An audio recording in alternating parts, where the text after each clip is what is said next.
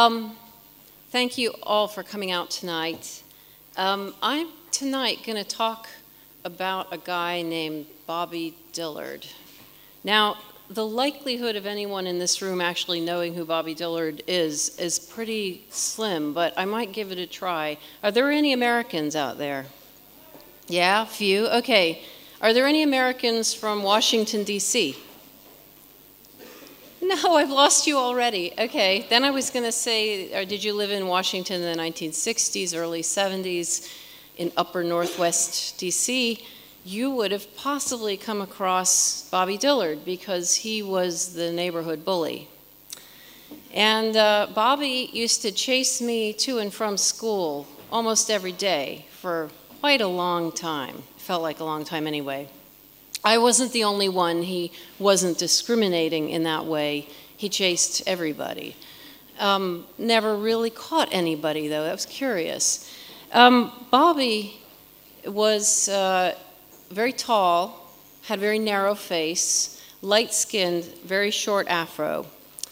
And we both lived in an area of, uh, of DC called Takoma, DC. And it was in the early 60s and 70s, it was one of the first neighborhoods to be integrated. Um, Washington, in case you haven't been there, or actually if you have been there, you probably have a very different impression of it from what it really is. Um, uh, if you're a tourist, you see it as uh, you go to tourist spots and you think it's primarily white, or if you look at the government, is primarily white. Uh, President Obama is our noble exception. Um, but it actually is, it, had, has a 70% uh, population is black. So I was in this integrated neighborhood, and our, um, my elementary school, Takoma Elementary, was also integrated, and it was about 80% black and 20% white. And for a long time, the uh, race was not an issue for kids. We just played. It was no big deal. It started becoming a little bit more of a deal around age 10, 10, for me, it was age 11. I managed to relatively cruise through. And then age 11, sixth grade, year six for the Brits there, out there. Um, one day, I was in gym and we were playing basketball. When you play basketball, you get um, put with another uh, person from the other team. You're supposed to guard that person and basically keep them from getting the ball. They keep you from getting the ball. And I was supposed to guard a girl whose name I've forgotten now. That says a lot. Um, I remember Bobby Dillard. I don't remember her name, so I'm going to call her April. April and I uh, were guarding each other. And at the end of the game, April had a black eye. And it was one of those black eyes that had a kind of hook goes under, and it gets worse as the day goes on. It gets darker and darker.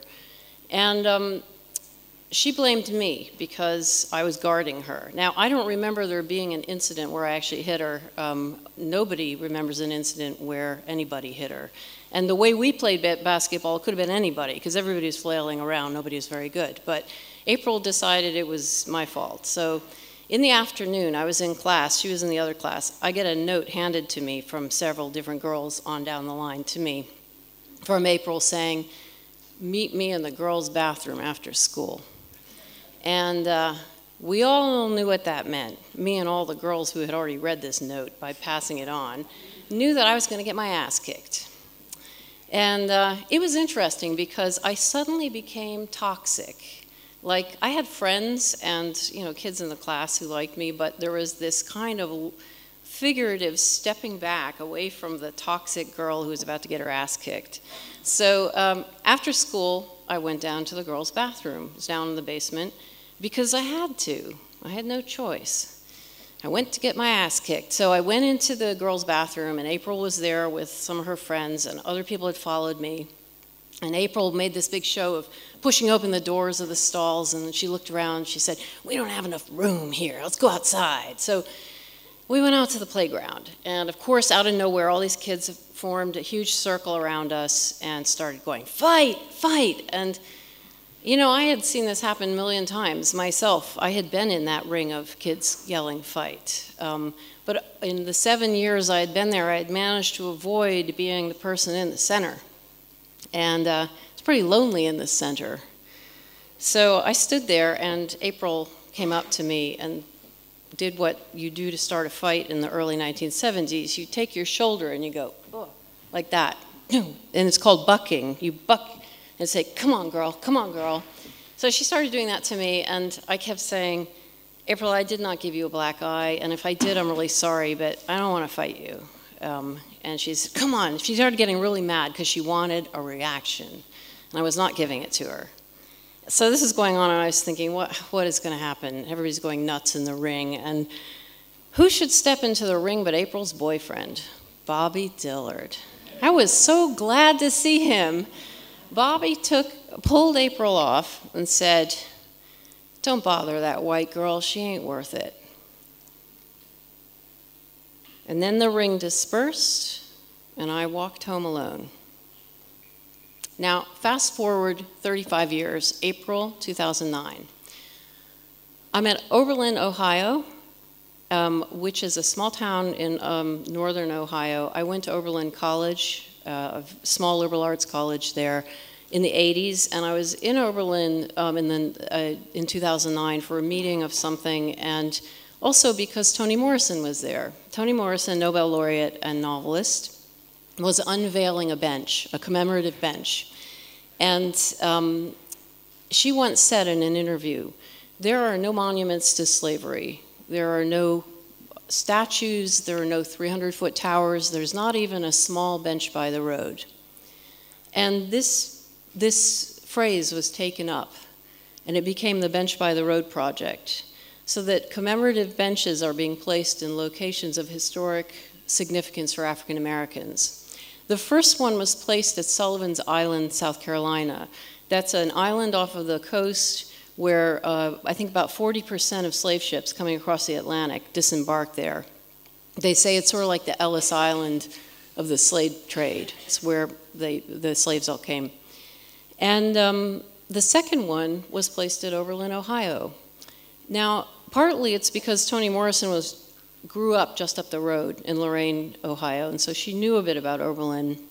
But it was mostly because of Oberlin's rather radical and progressive history, and as a place of historical significance for African Americans. Um, Oberlin as a town was uh, founded in 1833 by religious visionaries who were pretty radical and very liberal. Um, the college was the first college in the States to admit women and African Americans as part of the student body. And the town was full of abolitionists, people who opposed slavery. It also was what they called a station, a major station on the Underground Railroad. Now, the Underground Railroad was not a literal rail railroad station with a train. Um, it was a loose network of people who opposed slavery, who, were help, who helped runaway slaves flee to the north, either northern states where they could be free, more or less, or to Canada, even better, because there's a different country, different laws. Oberlin happened to be, uh, Ohio is a state that's between a southern state, Kentucky, which was a slave state. Ohio was a, a free state, and it was between Kentucky and Lake Erie, which if you cross, you get to Canada. So there's a lot of slave, um, uh, runaway slaves passing through. Now, as long, for as long as there was slavery in the states, there have been runaway slaves. Uh, the way it's set up geographically in the states, most the southern states were all slave states and the northern states free. Uh, so if you were going to run away, it could be a matter of simply a few miles. If you lived in Kentucky as a slave, you could cross the Ohio River and get into Ohio and you'd get be free. Um, others had to go up to 1,000 miles. From New Orleans up to um, Lake Erie is 1,000 miles. And you can't go that far on your own. Um, you need help. So runaways got help from people, both white and black people, all along the way, um, helping them by hiding them during the day in barns, in their houses, out in the woods, feeding them, telling them where to go, where's the next safe house to get to. So lots of slaves uh, managed to escape this way. The problem with, with this is that, um, first of all, the way the laws were made in the states, although the slavery was illegal in the North, you could, uh, if a slave escaped to the North, the slave owner could come after them, take them back. And if you helped them, so they were never really safe in northern states. That's why so many went to Canada, where um, slave owners couldn't go. And the, the, the, other thing is that if people uh, were helped them, anybody who helped them could be fined $1,000 or imprisoned for six months. And uh, that's, you lose your livelihood that way. $1,000 is a lot of money in those days. So for those reasons, it was a risky business. Um, so when Toni Morrison was talking about Oberlin and unveiling this bench, I thought, wow, the Underground Railroad would be such a cool thing to write about, a great topic, and particularly for me because I like to write about people in the past, ordinary people doing extraordinary things. The people who worked on the, rail, the railroad were certainly extraordinary. So I decided to write about it. Now, what the hell does this have to do with Bobby Dillard? I'm getting there.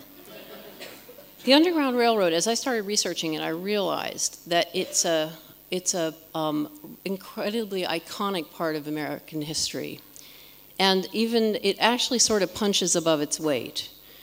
The estimate is that 30,000 slaves escaped this way.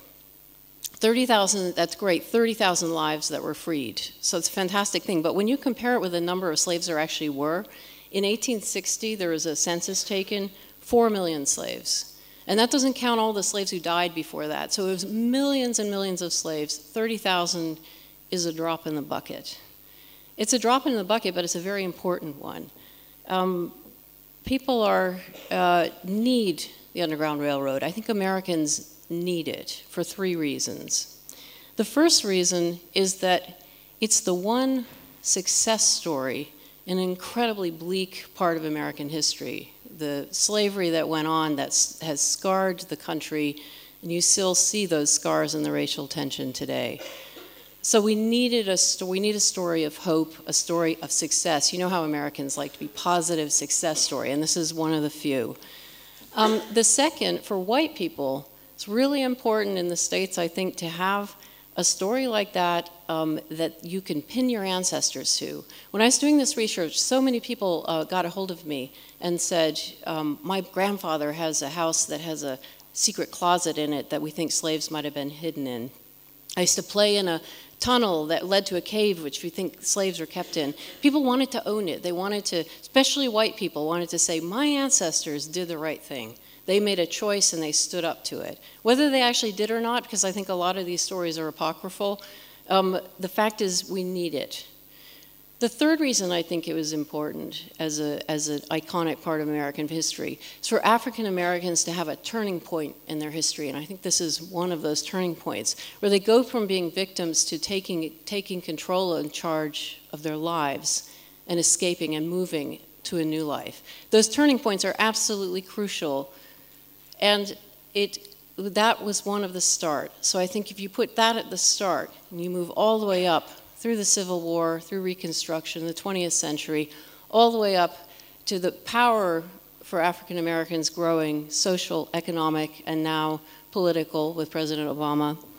That has grown all the way up to the point where in 1973, a black boy can say, Don't bother with that white girl, she ain't worth it those words no longer sting for me.